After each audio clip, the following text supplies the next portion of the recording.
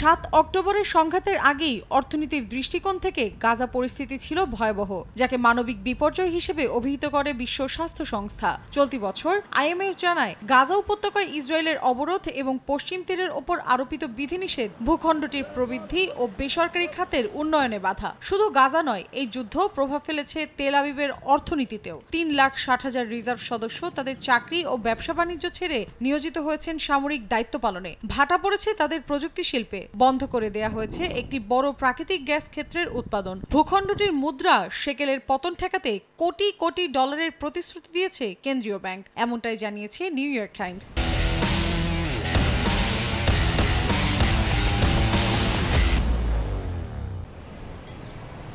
গেল বছর সেরা পারফর্মিং অর্থনীতির তালিকার মধ্যে চতুর্থ ছিল ইসরায়েল। ভূখণ্ডটির স্টার্টআপগুলো আকৃষ্ট করেছে বিদেশি বিনিয়োগকারীদের। দু হাজার বিশ সালে সই হওয়া আব্রাহাম চুক্তির মাধ্যমে তেল আবিব ও কয়েকটি আরব দেশের মধ্যে স্থাপিত হয়েছিল কূটনৈতিক সম্পর্ক।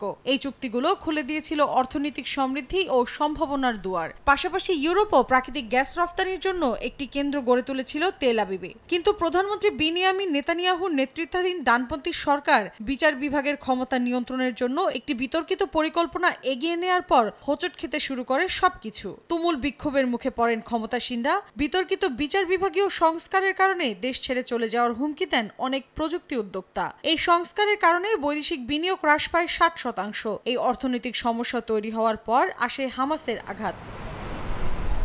ব্যাংক সূত্রে জানা যায়, ইসরায়েলের সামগ্রিক আর্থিক অবস্থা স্থিতিশীল থাকার পাশাপাশি বৈদেশিক মুদ্রার রিজার্ভের একটি বড় অংশ মজুদ রয়েছে।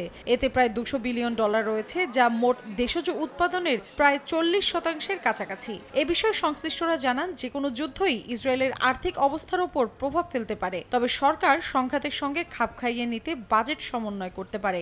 ইসরায়েল সামরিক খাতে মোট দেশজ উৎপাদনের চার শতাংশের বেশি ব্যয় করে। গত বছর ব্যয় করা হয় তেইশ দশমিক চার বিলিয়ন মার্কিন ডলার। যুক্তরাষ্ট্রের কাছ থেকে সহায়তার আকারে প্রতি বছর তিন দশমিক আট বিলিয়ন ডলার পায় ইসরায়েল যা মার্কিন অস্ত্র কেনার জন্য খরচ করা হয়। আগামীতে প্রেসিডেন্ট বাইডেন ইসরায়েলের জন্য চোদ্দ বিলিয়ন ডলার সামরিক ও নিরাপত্তা সহায়তা চেয়ে কংগ্রেসের কাছে আবেদন করবেন বলে আশা করা হচ্ছে।